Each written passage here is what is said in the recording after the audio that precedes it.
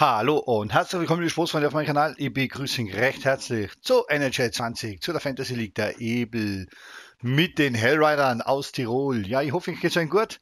Ihr seid alle gut drauf und ich habe bis jetzt eine geile Zeit gehabt. Und nach einem Sieg am letzten Spieltag versuchen wir heute auswärts unser Glück im wunderschönen Villach am Wörthersee gegen den VSV. Schauen wir, ob es uns gelingen wird. Wir sind im Schwierigkeitsgrad Pro mit einer Drittellänge von drei Minuten. Wollte ich gerade noch mal so dazu sagen. Ich werde schauen, dies, wir haben ja nicht mehr viele Spieltage in der Hauptsaison. Ob es jetzt das noch mal bringt, äh, umstellen auf Allstars, weil die Playoffs machen die schon ganz gern und die Vorrunde mit, mit Pro spielen. Und dann werde ich mal so eine kurze Pause gönnen. Und dann werden wir gleich mit der Season 2 durchstarten. Unser Maxi ist im Tor.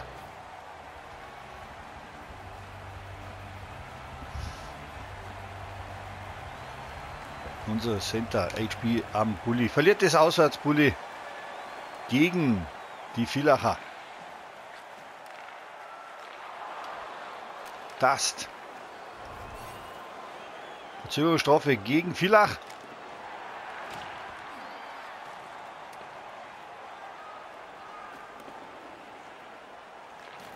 Batora auf dem Weg zum Puck. Gaucho. Auf das, das mit heute schnellen Kufen. Aber hier wird die Verzögerungsstrafe gegen Villach durchgesetzt.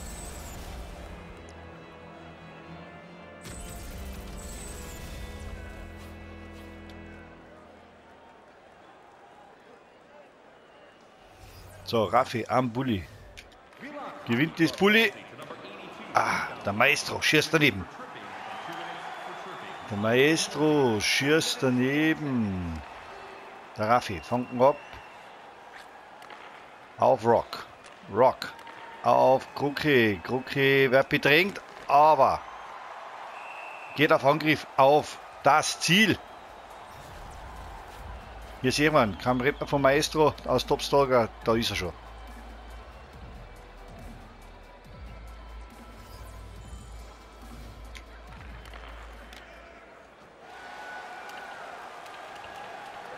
So, Rock. Tor vorbei gegen die Villacher. Stein. Holt sie. Das Bulli.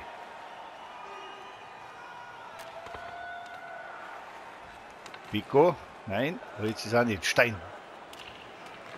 Holt sie die Scheibe auf Pico. Auf Rock. Oh, das wäre es vielleicht gewesen. Unser Scharfschütze. Jawohl. Wir bleiben bei uns. Das habe ich mit Jawohl gemeint. Jawohl, jawohl, jawohl. Nein, funktioniert nicht. 15.30 nur auf der Uhr zum Spülen. Und der Maestro ihn wieder. Der Maestro ihn wieder. Schießt auf HP, aber der HP wird ausgetackelt. Gaucho. Und unser Christian Stein macht das 1 zu 0 auswärts für die Hellriders. Fünftes Tor in dieser Season.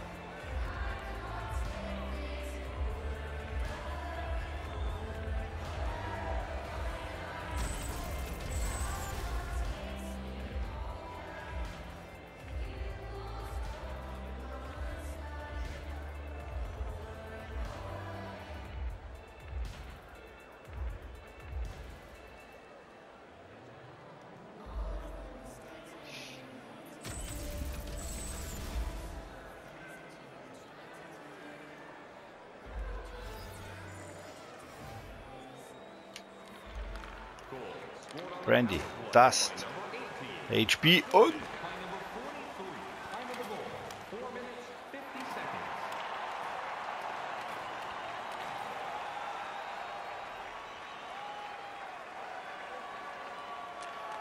Das ist doch Wolf.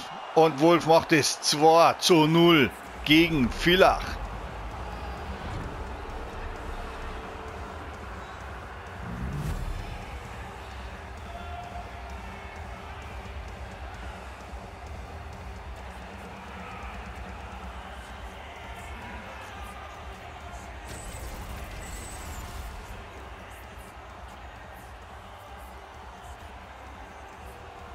40. Spieltag, ihr wisst, am 4.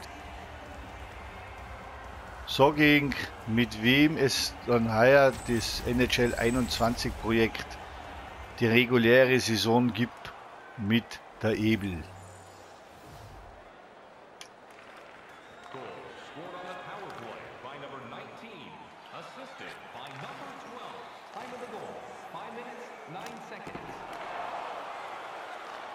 Ich wollte es nur mehr für die sagen, die was hier treue Zuschauer sind,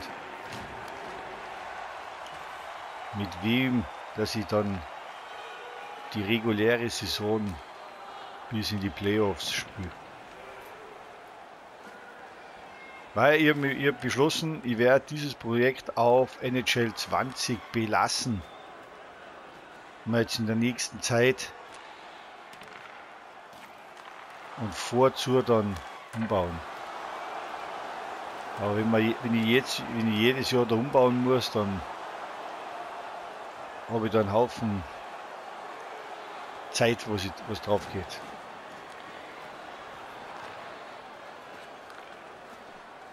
Außer es ist dann wirklich so gewaltig, dass man mehr machen kann bei der, bei der 21er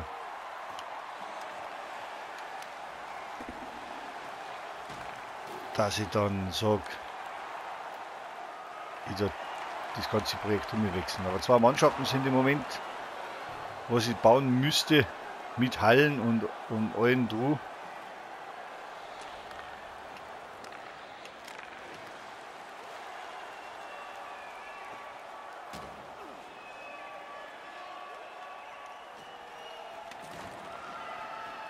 So, Raffi. Ich weiß gar nicht, wann das ist, die offizielle Season heuer bei der Ebel startet.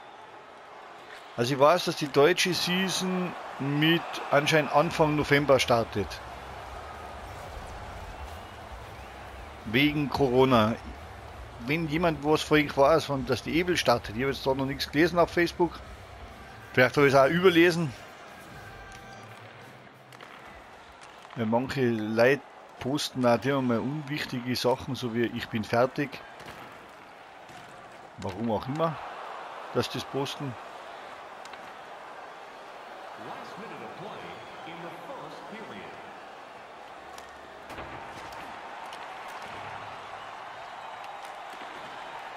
Oh, ich bin auf dem zweiten Platz bei den Top 10 Tore.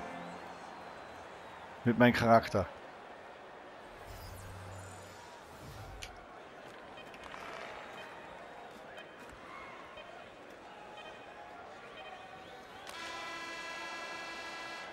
Dann Ende des ersten Drittels.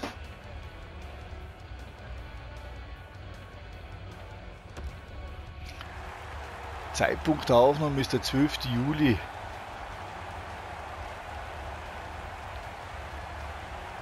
Um 8 Uhr früh. Nur falls das wem interessiert, ich nehme jetzt genau zwei Videos auf. Vielleicht nehme ich auch drei auf, je nachdem wie viel Zeit das ich habe. Und dann werde ich die schöne Wetter nutzen.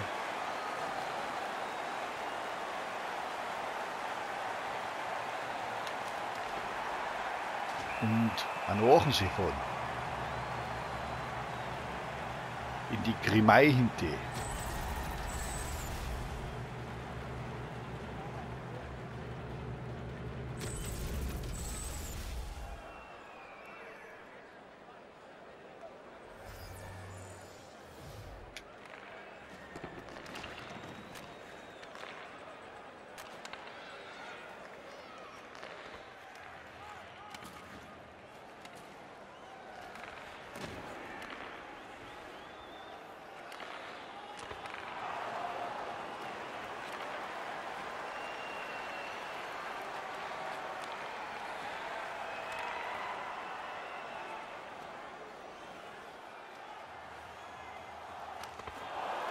So.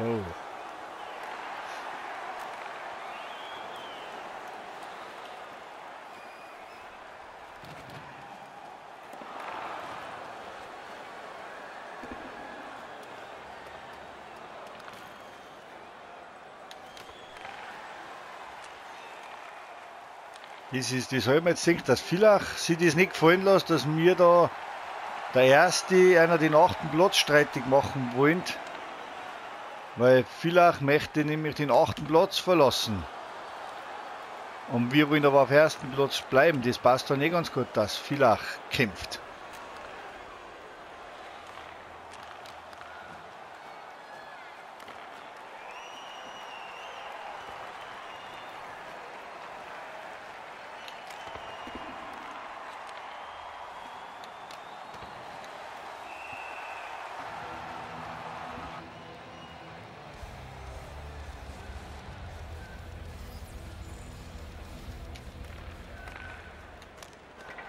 Oh, vorbei am Tor, vorbei am Tor.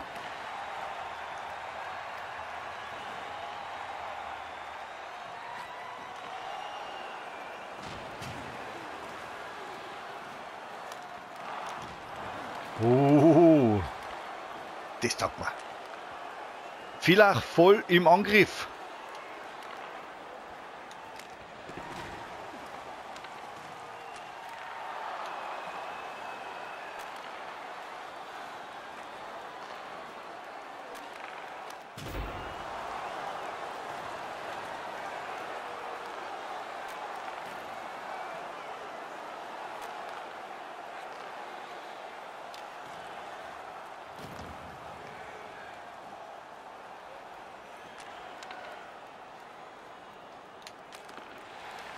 Auch nicht.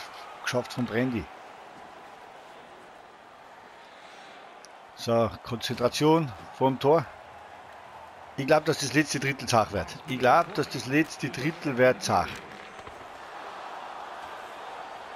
Weil ich glaube, die Villacher dran nochmal im letzten Drittel voll auf. Michi Wolf. Auf Pico, Pico, nein. War 6 nur auf der Uhr zum Spielen im zweiten Drittel.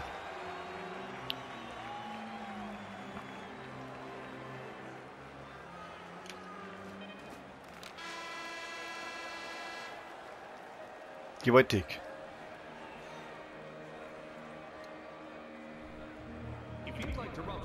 So, entscheidendes letztes Drittel in dieser Begegnung.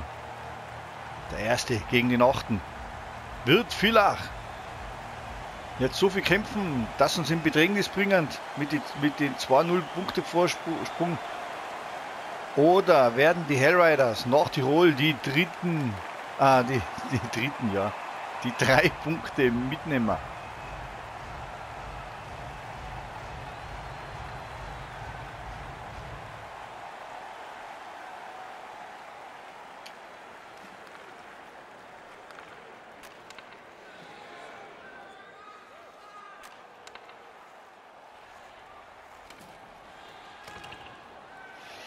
Also das, was ich mir schon versprechen kann, in der nächsten Season wäre die, die Mannschaft Hellriders von unserer Nummer 19, von unserem Kapitän vom HP Wolf. Zweites Tor am heutigen Abend, 19 Tore, passt zur, zur Trikotnummer in dieser Season.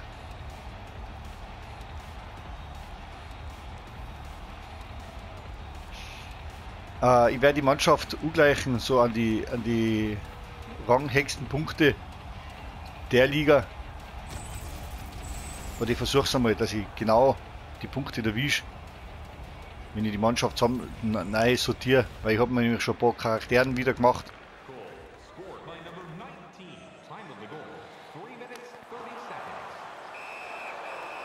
Deswegen, wenn einer vorhin sagt, hey, HP, wir arbeiten die Hellriders mitspielen, mit der Trikotnummer, dann bitte schreibst mir ein paar Informationen unten in die Comments rein. Dann mache ich den Spieler für die nächste Saison, der was dann bei den Hellriders mitspielt. Ja, das Problem habe ich, ich habe nämlich, nämlich genauso viele Spieler gemacht, wie ich an, an kreativer Mannschaft brauche, ich es machen kann. Ich nicht, nicht einmal ein Reservespieler, wenn was wäre. Und das ist nämlich ein bisschen blöd, deswegen habe ich ein paar Spieler mehr machen müssen.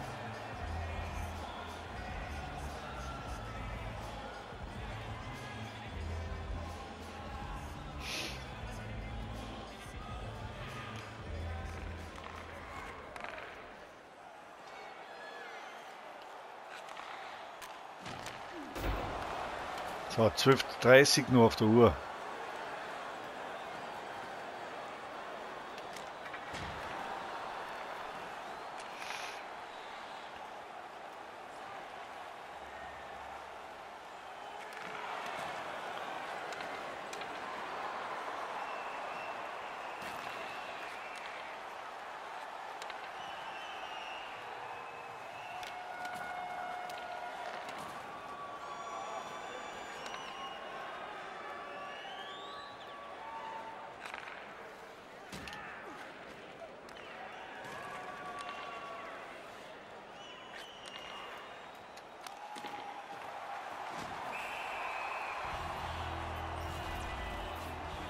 Ein Tor nur bis zum Hattrick von unserem Kapitän vom HB. Wohl 19 Tore in dieser Season.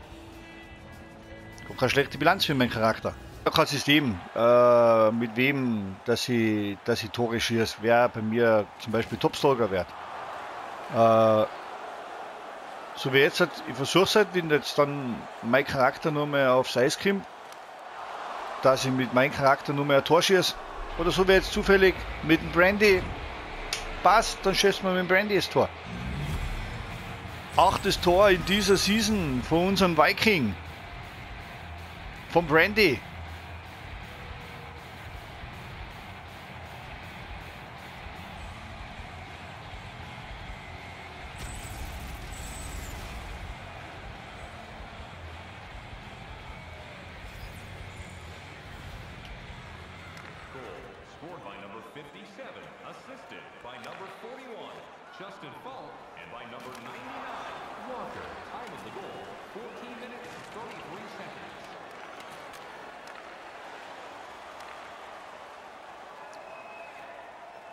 Holze. Geht nicht. Wolfram. Benedikt.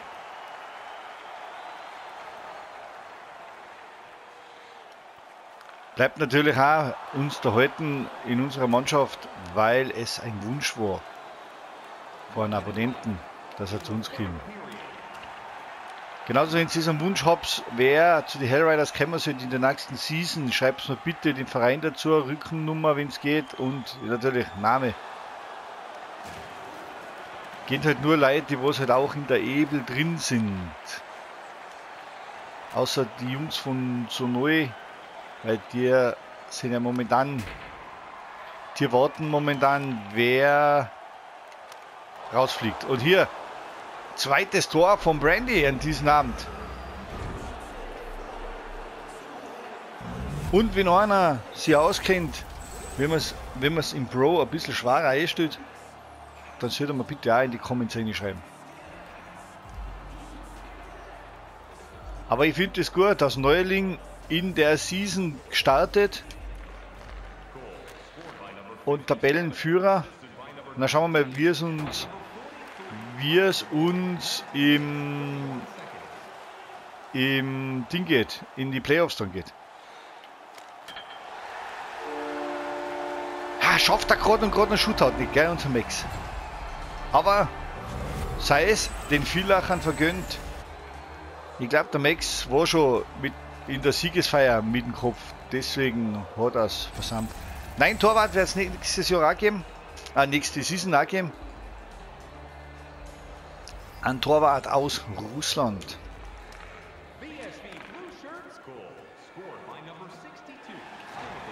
Selbst zusammengestellt von mir natürlich. Äh, selbst zusammengestellt.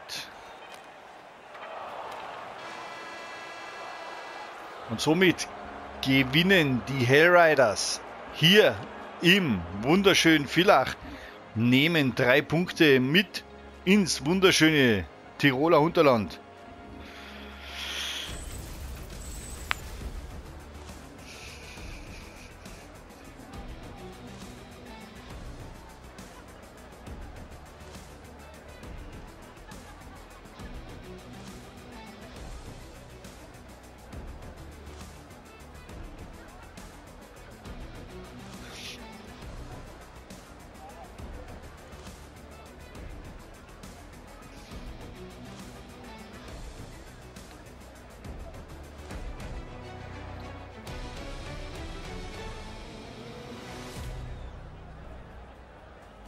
So, zwei Stars haben wir. Okay, passt gut. Zwei Stars haben wir. Vier Tore, ein Assist. Ah, wunderbar. Ich bin ja hier auch gespannt. Die, die DL ist geil mit der Tabelle. Hier, hier ist genauso richtig geil zum Spielen. Mir danken die Projekte, die Fantasy-Projekte. Wenn einer sagt, na, zu neu, tu eine andere Mannschaft rein, die was, die was mit die Punkte, die müssen ja Punkte gleich sein. Äh, und da ist man gleich, wenn du sagst, hey, keine Ahnung, ich sage jetzt mal zum Beispiel Bern oder Zug aus der Schweizer Liga. Tu die in der dritten Liga rein und tu die, die was, die, die was gehen müssen, sind so weg. Und nachher haben wir zwei Mannschaften, was draußen sind von Österreich, die was dann gegeneinander kämpfen können, virtuell, das seine kommen. Äh, war zum Beispiel auch eine Möglichkeit. Sonst kommt halt zu neue wieder zurück. So habe hab ich mir gedacht, wenn ich eine dritte Season mache, es kommt auf eng drauf an, ob ihr eine dritte Season dann sehen wollt. Und wenn ihr überhaupt eine zweite Season von mir sehen wollt, da mit dem Fantasy-Projekt, das weiß ich auch nicht. Aber ich mache halt einmal, ich versuche halt einmal eine zweite zu machen, sofern es mir zeitlich möglich ist. Na gut, so viel jetzt dazu. Die Hellriders auf Platz 1 mit 72 Punkten. Head to Head mit dem Rekordmeister aus Klagenfurt. Das ist richtig geil. Head to Head mit dem Rekordmeister. Der Newcomer gegen den Rekordmeister hier um die Tabellenführung. Das finde ich so richtig saumäßig geil und das war von mir nicht geplant. Beide mit 72 Spieltage. Wir haben jetzt der Spieltag 38. Wir haben nur zwei Spieltage bis Seasonende. Es kann, das, es kann noch sein, dass sie dir zwei Plätze verändern.